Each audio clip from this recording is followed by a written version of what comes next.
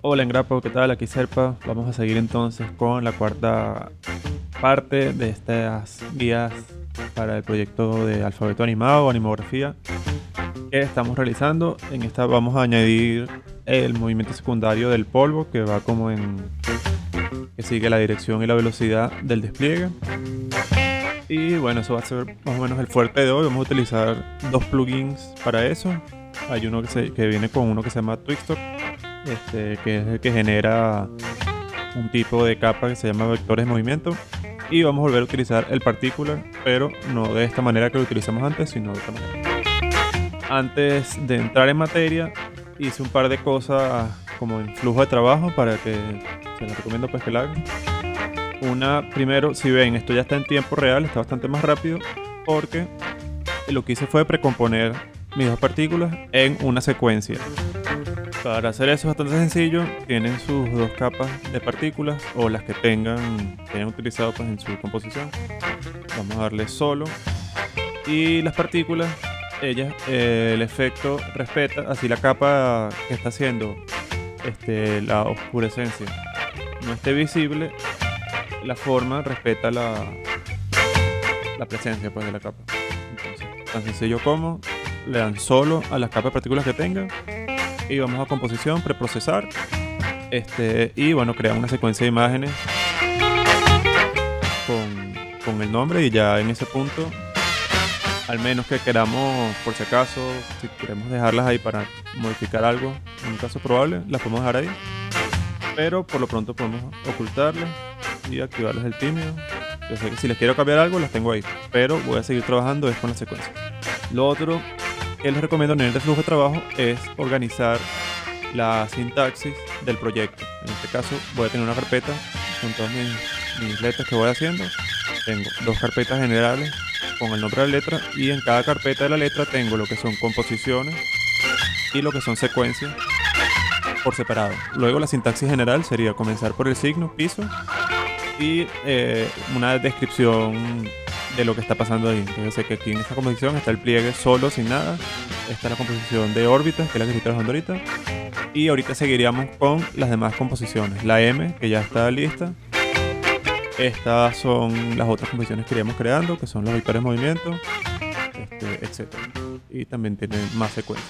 Entonces, esta es un poco la sintaxis del proyecto. Importante mantenerla porque recordemos estamos trabajando, estamos construyendo insumos con los que va a trabajar otra persona, sea un editor o sea otro animador. Entonces, este, la sintaxis tiene que ser lo más coherente y estable que se pueda posible para, para evitar pues, dolores de cabeza futuro que no son nuestros, sino de la persona que vaya a utilizar esta herramienta que estamos haciendo. Entonces, bueno, es un poco recomendación de, recomendación de flujo de trabajo y ahora sí vamos a entrar en materia. Vale, si de paso entonces vamos a volver a trabajar con la secuencia cruda del pliegue. Vamos a precomponer esa secuencia. Este, ajá, tenemos la secuencia acá. Para este paso vamos a reducir el tamaño de la composición porque el efecto que vamos a utilizar va a calcular su resultado en base al área de la composición. Entonces no necesitamos toda esta cantidad de píxeles. No la necesitamos, va a ser más pesado el proceso. Vamos a ponerle en este caso 300 por 300 píxeles. Vale. Entonces el efecto que vamos a utilizar, vamos al buscador de los efectos y vamos a comenzar a escribir vector. Si ya instalaron el Twixtor, que es con el que viene este efecto, el efecto se llama vectores movimiento crear. Lo aplicamos directo en la secuencia y se va a poner todo verde. No pasa nada. Eso es porque este efecto está predeterminado para trabajar con, con archivos de video donde hay más movimiento y no con, con gráficos tan sencillos. Entonces viene con, una, con un predeterminado del desplazamiento demasiado alto para lo que estamos haciendo. Si le ponemos 100, ya comenzamos a ver que está haciendo algo ahí este valor va a ser, va a depender de la animación que hayan hecho, de la velocidad que tenga y etc. Pero bueno, ya con 100 deberían comenzar a ver algo. Después pueden comenzar a disminuir hasta que aumente el contraste entre eh, este rojo anaranjado y el verde. Ahí lo que tiene que estar pendiente es la información de color que no sature. Es decir, que ninguno de los valores de rojo y verde llegue nunca a 255. si satura, por ejemplo, de este lado veo la máxima, está en 183, estoy bien. Si yo comienzo a disminuir esto, por ejemplo, si le pongo 20, y aquí se fue a 254 y ya está saturando. Entonces, este punto es el que nos va a dar problemas. Ahí, bueno, vayan disminuyendo esos valores hasta que aumente el contraste, pero que no sature el color. Bueno, entonces, este es el primer paso, aplicar ese efecto. Luego tenemos que anular la información del color azul. No anular, neutralizar la información de color azul en este efecto. Eso es porque este efecto está pensado para trabajar con, con información de, archivos tridimensionales, con información 3D. En este caso tenemos una animación 2D y entonces hay una cantidad de información azul, que si ven, el canal azul está siempre en cero, pero eso va a distraer a las partículas. porque él va, va a asumir la información del azul como un valor en el espacio. Este efecto funciona, los vectores de movimiento funcionan. Rojo es el valor X horizontal, verde es el valor Y vertical y el azul actúa como la profundidad. En este caso no queremos que lea la profundidad, sino que sea un valor intermedio, entonces tenemos que neutralizar esa información. Entonces vamos a crear un nuevo sólido. Este, aquí importante, en el color de ese sólido tiene que ser un azul medio absoluto. Eso es 00127. 00127, un sólido del tamaño de la composición.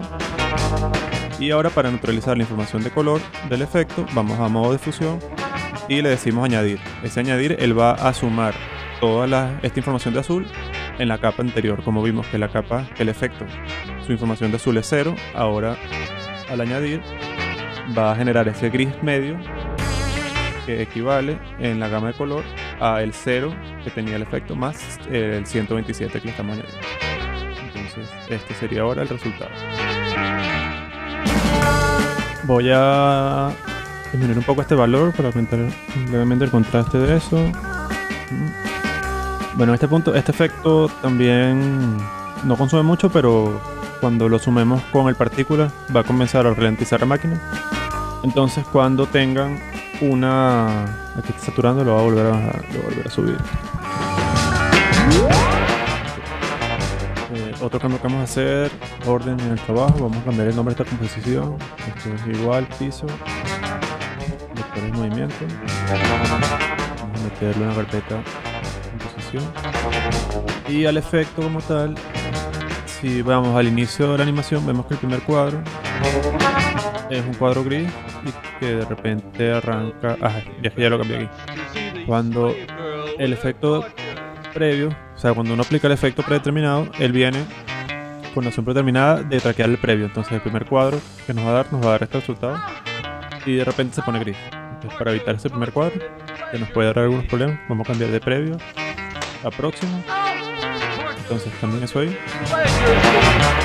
Y ahora parece que está todo bien. Entonces, estamos en este punto. Tenemos el sólido en 127, añadir, este, crear los vectores de movimiento, next, ir bajando este valor hasta que haya contraste, pero no haya saturación de información. Cuando tengamos todo eso listo, entonces vamos a preprocesar esa secuencia. Vamos a crear una secuencia de imágenes. Este, estoy grabando aquí. Ya yo creé una carpeta anteriormente que es igual, vectores movimiento secuencia. Este. Y vamos a preprocesar eso. Va a sobreescribir la secuencia anterior, me parece. Listo. En lo que tengan la secuencia. Ahí está, le meto en la carpeta secuencia. Entonces tengo una nueva secuencia ahora que es igual, vectores movimiento. Vamos al siguiente paso.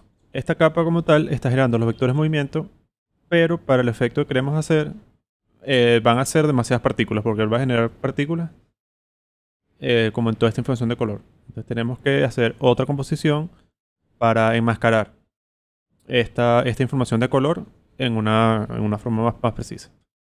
Para hacer eso vamos a precomponer la secuencia de vectores movimiento junto con el pliegue original. Si se dan cuenta, esta secuencia es bueno tenerla prendida desde el comienzo porque la vamos a estar utilizando bastante Vale. Ahora vamos a utilizar la secuencia pliegue original como la máscara de luminancia de los vectores movimiento. Para hacer eso, vamos a... Bueno, ya aquí se ve un poco como esos colores locos de los vectores de movimiento responden al movimiento de los píxeles de la secuencia. Entonces, para crear la máscara, vamos a cambiar aquí. Vamos a hacer un mate de seguimiento de luminancia. Vamos a cambiar una vez el nombre de esta composición. Entonces, igual, vector de movimiento, piso, máscara. Y a esta capa hay que aplicarle un efecto para hacer que esta máscara sea más precisa. Ahorita está muy general. Van a ser partículas en todos estos lados grises también. Entonces vamos a un efecto que se llama diferencia de tiempo. Lo ponemos ahí. Entonces diferencia de tiempo es un efecto. Él está calculando el desplazamiento, cuánto hay en el tiempo entre una cosa y la otra. Y medio elimina los colores resultantes.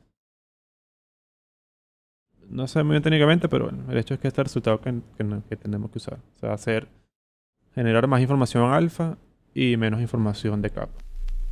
Después tampoco queremos este gris al final. O sea, queremos nada más información de color y buscar eliminar esta información gris. Entonces voy a crear una capa de ajuste. Porque su conducta ha Vamos a ponerle primero unos niveles. Porque para siempre se donde quiera. Y unas curvas también. desigualdad social cayó suelo boliviano. Entonces, a las curvas me voy a ir al canal alfa y vamos a comprimir un poco eso. Y a los niveles vamos a llevar esto por acá. El Che Guevara decía, si hay injusticia aquí, yo soy soldado del pueblo y al débil yo lo Aumenta el contraste de la... El Che Guevara ha caído, pero al mundo le diré, vestido de verde olivo y políticamente vivo, quien puede matar al Che? Ajá, entonces estamos avanzando aquí para evitar este cuadro que quede, de hecho creo que no tengo que aquí. En el efecto diferencia de tiempo vamos a seleccionar la opción diferencia absoluta. Entonces solamente nos va a mostrar cuando hay entre cuadros un movimiento este píxeles movidos. Eso básicamente lo que hace este efecto. Pues. Él va midiendo eh, lo que está pasando en esa secuencia y cuando hay una diferencia en la posición entre píxeles te muestra esa diferencia. Pero todo lo que no se está moviendo no lo muestra. Entonces es una, como una máscara dinámica en base al tiempo. ya estamos llegando a algo. Este, aquí en corrección de color lo que es eso, comprimir el alfa, quizás no tanto en este caso. Este, comprimir un poco el RGB para aumentar la, la luminosidad del color, un poco más partículas. ¿eh? La masacre de Catavi fue Bueno, entonces básicamente esta es una composición de enmascarar esas partículas. Aquí sí volvió a aparecer el final. Ahorita no sé qué es eso, pero las minas ya luego no queremos nada. Queremos que haya información, esto en alfa, información solamente durante el movimiento y después nada información. Para chequear pueden ir aquí y ver en información de color de todo en cero, sin información guerrillera yo traigo en el bueno, entonces una vez que tengamos esto, más o menos vamos igual a volver a precomponer. Entonces ahora vamos a precomponer esta capa de vector de movimiento enmascarada Por el trabajo junto con mi secuencia de las órbitas. Como ninguno y mientras te este, el gringo eso, bien por sufrir el boliviano.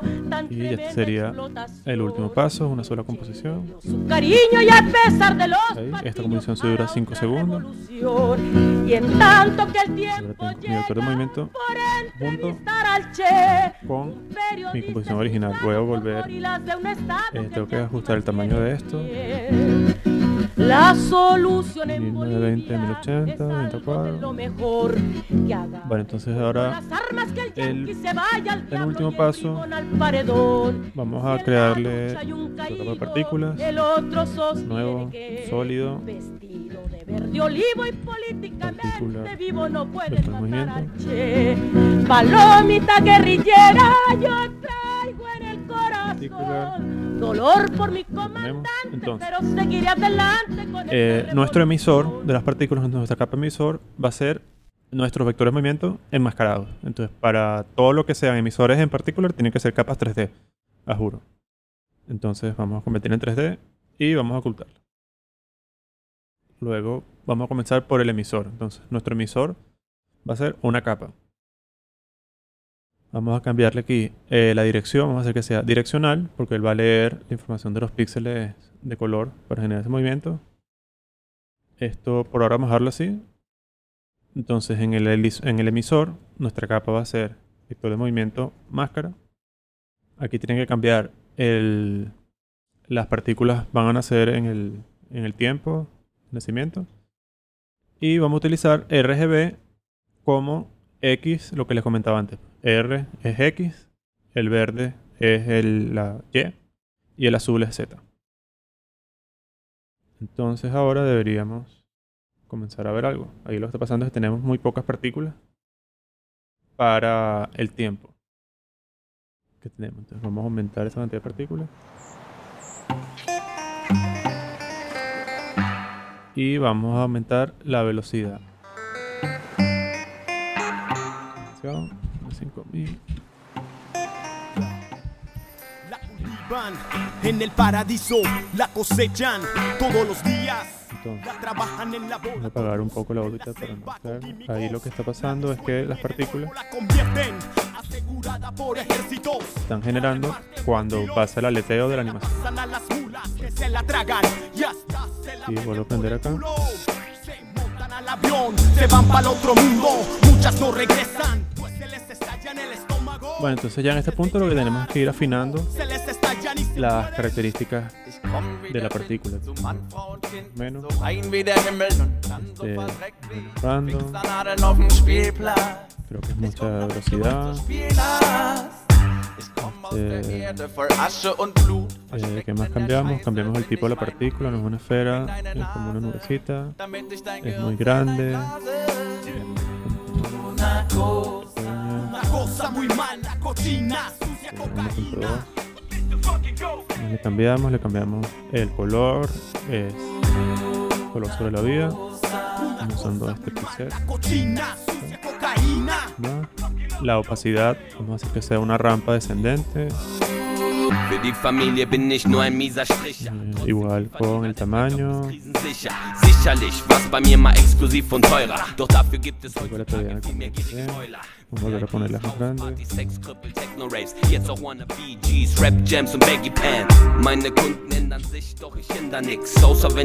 losrennt. Entonces así se comienza a generar ese efecto, es nuestra segunda, nuestro segundo movimiento secundario por postproducción. Movimiento complementario a el despliegue. Luego, este, podemos poner a las partículas, activarle desenfoque movimiento, poner desenfoque movimiento en la máscara. Y bueno, ya se comienza a poner más pesada también la computadora. Y ya bueno, ya vendrían los microajustes dependiendo de, de qué tan largo es el movimiento, qué tan rápido, qué tan violento. Si se imaginan más partículas, un poco acá, por la velocidad. Este, la vida puede ser más, puede ser menos.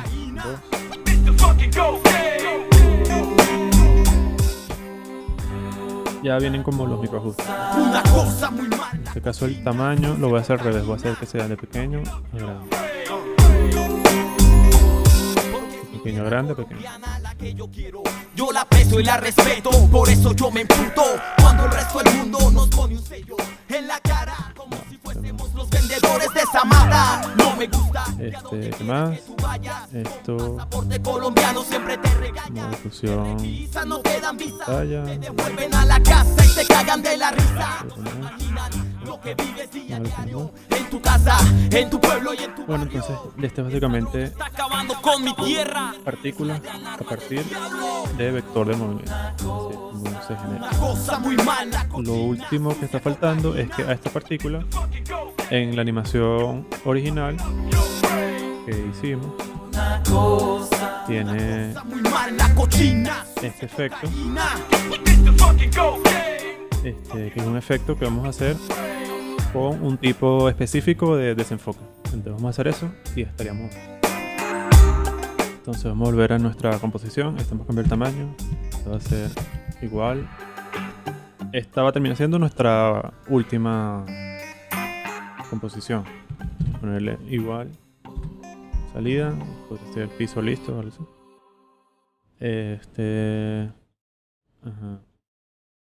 Vamos a poner entonces el desenfoque a esa órbita. Vamos a abrir órbita. Vamos a probar. En, las, en la secuencia que exportamos de las partículas, vamos a buscar un efecto que es Vector Blur. CC Vector Blur. Está en desenfocar y enfocar. Lo ponen ahí. Y bueno, Vector Blur, vamos a cambiar el tipo de desenfoque a eh, direccional degradado. Vamos a probar con 50. Ese es un poco el efecto que estamos buscando. Este, la propiedad, la iluminación. Ok. Aquí pueden alterar el ángulo de esa dirección, hacia dónde va.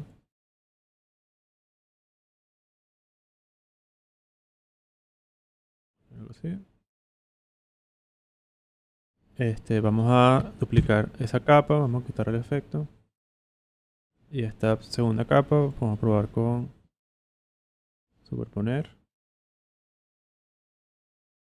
Así, ese, efecto ayuda como a fundir las dos capas y se pierde un poco esa apariencia artificial que tenía solo. Ya en esta composición no la voy a borrar, pero ya no hace falta ver aquí estos bombillos. Entonces vamos a ponerlo tímido. Ocultarlo. Tímido aquí, ocultarlo. Tímido, tímido. El nulo tampoco lo quiero ver ya. Ocultarlo, tímido. Lo estoy dejando solamente en caso de que quiera volver a cambiar algo y volver a preenviar la secuencia. Pero estamos seguros que no hace falta, no hace falta. Entonces este punto blanco acá es un poco incómodo visualmente al poner la otra capa que la tierra con el efecto y poner esto en superponer se ve menos molesto al ojo. vivos ahora más que nunca Entonces, bueno, ese efecto desenfoque en movimiento, luego eh, desenfoque, eh, desenfoque vectorial. y nos vivimos el mundo Luego, para solidificar un poco estos colores, podemos poner una máscara de enfoque, ponen máscara, esta máscara de enfoque. todo su ahí. Entonces, máscara de enfoque es un efecto que, las melodías acá, que son que como sintetiza, digamos, esos degradados un poco.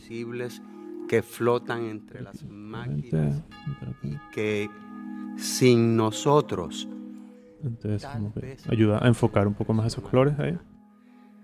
Y bueno, árbol que cae en el medio ya lo que tendríamos que hacer, aquí esto es bastante pesado, la secuencia, el vector de movimiento, también vamos a tener que preprocesarlo, entonces igual, vamos solo, aquí, composición, preprocesar, organizar y reorganizarlo todo en esta secuencia de imágenes, a sabiendas secuencia PNG, de que el álbum es una va reliquia a ser igual, ocupa demasiado Vector. espacio.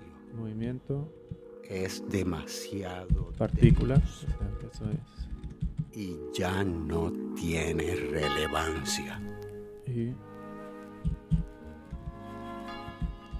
igual piso, todo, movimiento.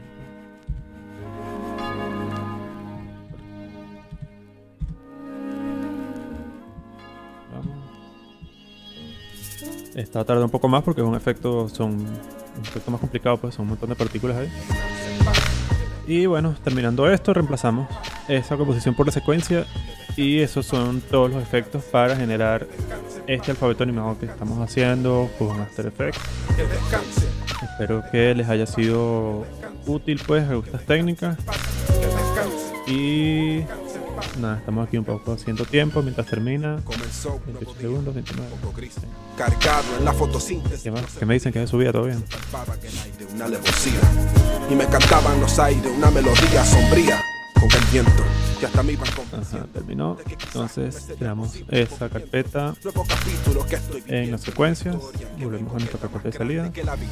Vamos a reemplazar ese vector de movimiento. No, no lo voy a reemplazar todavía para. Vamos a verlo ahí. Sí, la voy a apagar. yo no sé yo, yo, yo, yo, yo, yo, yo, Esto, su que mis metas las siento a la vez lejana y cercana tímido igual. Igual esos mientras no estén seguros que quieren hacer cambios. Ya si están súper seguros que eso está listo, borren todas esas composiciones. Porque bueno, es peso en la máquina.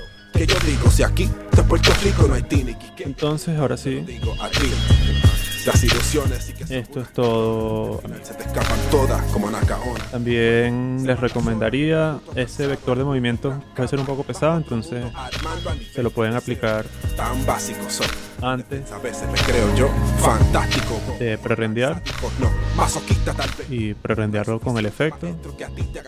O bueno, seleccionar estas dos, precomponer y prerendearlo para que no esté calculando ese desenfoque. que te pueden hacer daño así que así que Pero bueno, este es el efecto terminado. Las órbitas con sombras, el despliegue con iluminación, las, las partículas que se generan a partir del de movimiento, las partículas que se generan a partir de este nulo que rota en la órbita.